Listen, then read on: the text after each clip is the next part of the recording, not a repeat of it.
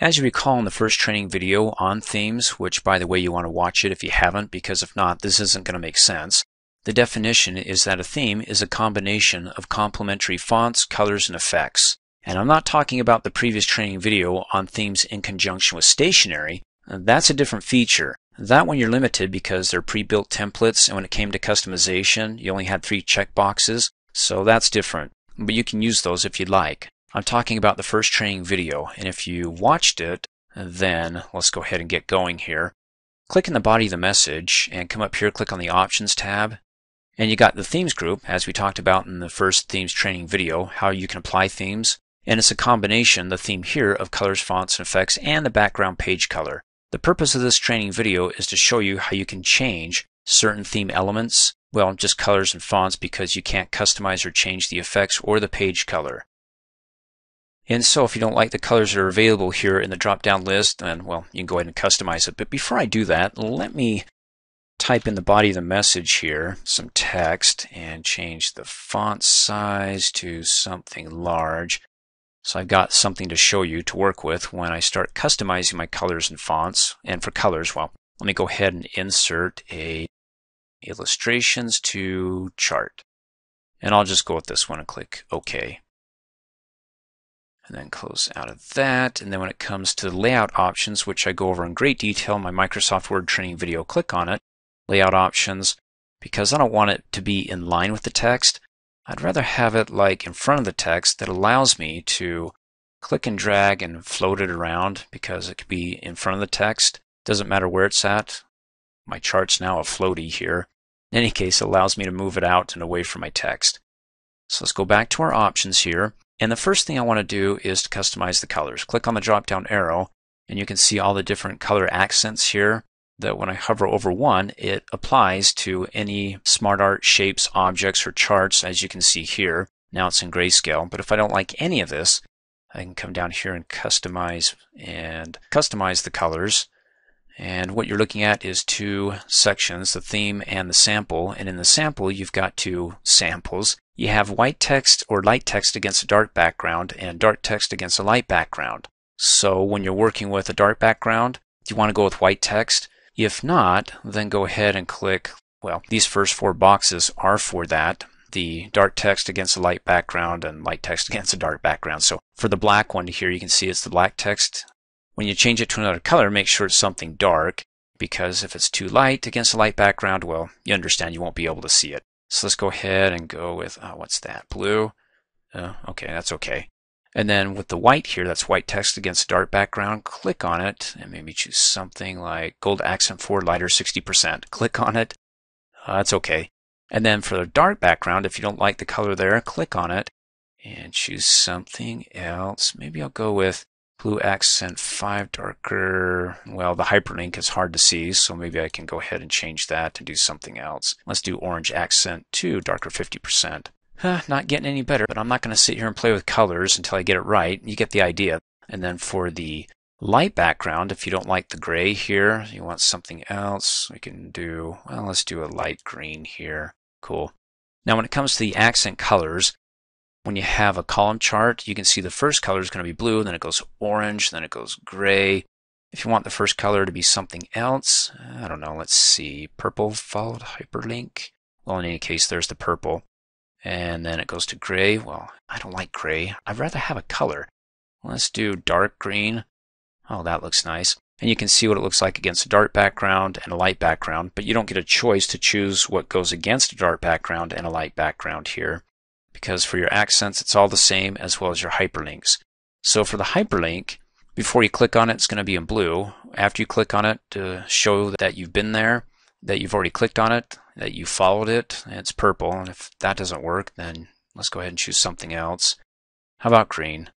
Oh, this isn't my best video on complementary colors here.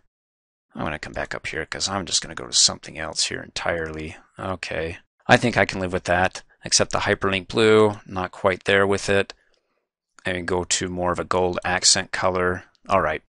If you don't like it, you can go ahead and click reset and it goes back to the way it was before you started making all the changes, but I'll go with it and it will be something spiffy. That's the name of it. Click save and it automatically applies to the chart here. Now, if you want to go back and make edits to it or even delete it, and then come back up here, click on colors. Hey, there it is, Spiffy. It's in the custom section. You can right click on it to edit it, make your changes, or of course you can right click on it to delete it.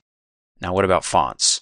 So you've got your fonts here we talked about in that first training video. You have the uppercase A which represents the heading styles or any heading styles applied to the text, which is going to be, well, sometimes it's going to be in different font. Uh, for this one it's the same font, but it's just a larger font size.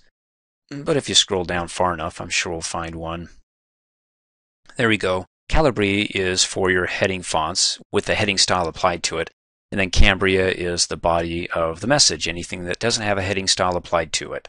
And if you want to learn more about heading styles, how to apply them, and the benefits behind them, I go over it in extremely great detail in my word training video on styles. So we'll keep it simple here. If I choose Calibri, Cambria is going to be selected for the style here because that's not a heading style. Select it, and there you go. Now, we already talked about how to apply this, and the reason why it's not being applied to this text, what is this in? Let's come up here, click on the Message tab, and click on the Font drop-down arrow, and you can see Arial is highlighted. It's not a theme font. If it was, it would be in Cambria, which has body. And so, if I want to be able to update this as a theme font when I select from, you know, the Options tab, the theme fonts, to be updated there in a single click, then I have to choose it here.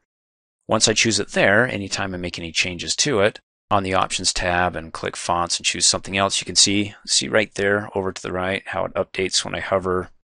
There you go.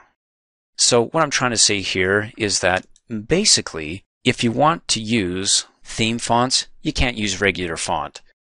In other words, if you got tons of text throughout the body of the message and you want to update it in a single click to a different font, and any headings that you have with heading styles, just come up here, choose what you like, click, and it updates everything. You don't have to select the text and then come up here on the message tab and click on the drop down arrow and choose, uh, well, a non-theme font. But you could, it's just that once you do that, it, theme fonts become obsolete because it's no longer updatable because it's not, well, again, a theme font doesn't have body. And to show you, let me go ahead and type in, this is your heading. And the heading here, when I select it and I right click on it, it's got body, but then I want to change it to a heading style. And that's Cambria. So when I come back here and I go to options and I want to update to a different theme font, it updates everything or just the two words that I have within my document. There's for the heading Garamond because I applied the heading style to it, the theme heading style Garamond, and then there's the body of the message Garamond. In any case, if you don't like that, you can go ahead and come down and customize the fonts and say, look, for the heading, and there's the sample, I want something that's comical, like Comic Sans. Let's go ahead and hit the tab key, and it updates it here. And then for Cambria, I don't know. Well, let's do this. How about monotype Corsiva? Fancy pants text. And then let's go ahead and save it as my spiffy theme. Click save and it updates it. So there's any text that I have within the body of my message, that's a heading. It's got one style, and then the body of the font has got the monotype Corsiva. Of uh, course, that's not matching. It's not a what you would call complementary fonts. But hey, it's not going to restrict you and say you can't go with what they think is a complementary font. You can go as outlandish as you want and choose anything that you want. And of course, if you want to change that, click on the drop down arrow and there's custom. You can right click on it to edit and also right click on it to delete it. And then you got your effects when it comes to well, milk glass. Let me come down here. So when it comes to objects and shapes, and it doesn't look like it's really applying to my chart, if at all. Glossy, no, I don't have the type of chart that's 3D that's really going to smooth it out and show something fancy. How about page color? Yeah, you can choose something like thus.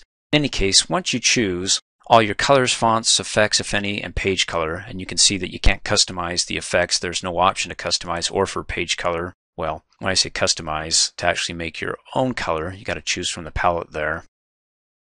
Then, if you want to be able to save this for future email messages, this theme, the combination that you can apply in a single click, then come up here, click on Themes, and go down to Save Current Theme.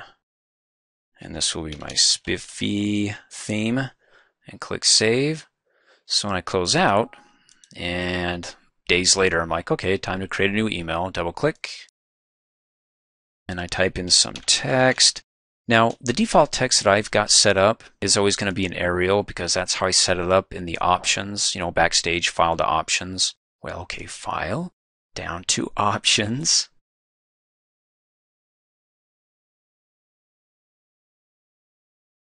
And go to stationery and fonts. I mean, we've talked about this. When you're creating new email messages, click on font. I chose Arial. I didn't go with the body. And the body is a code that allows you to use theme fonts that, well, by default is going to be Calibri. And so again, if you don't like Calibri, that's okay. If you want to stick with theme fonts, then you have to go to the Options tab. Otherwise, if you stay on the main home tab or the message tab and you change your font and you choose some other font that isn't a theme font, well, your themes for fonts become obsolete. You can't use it. You won't be able to update it. So any case, that's why it's not going to work for me because mine was set to Arial. Unless, of course, I want to change it on the fly and go, okay, fine, I'll use theme fonts. With it selected, come up here and say, okay, I'll stick with Calibri. There you go. And then, you know, insert some objects, shapes,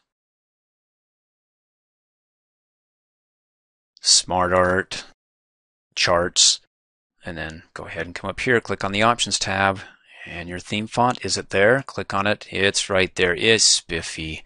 And you can see when I click on it, it updates it. Oh, that's so tiny, I can't see it. Let's increase the font size. There you go. Monotype Corsiva. And then, of course, you can click on the drop down arrow, right click on it, and delete it. And if you want to overwrite it because you want to change it and go, hmm, for this theme, I don't want to use Spiffy. I'd rather just use Office. Everything else is the same. I haven't changed it. And click on the drop down arrow to save it and then there's my spiffy theme. Double click to overwrite it. it. says you want to replace it. Yes. So the only thing that's not part of it from the original was my spiffy here. You can see now it's office. And then of course you can click on the drop down arrow. If you don't want it anymore, you can delete it and it's gone. Thanks for watching. Hey, as a quick reminder, if you like my video, please give it a thumbs up. You can also click on me and subscribe to my channel to get notified of the latest videos. And for great specials on my products, please see the description below this video.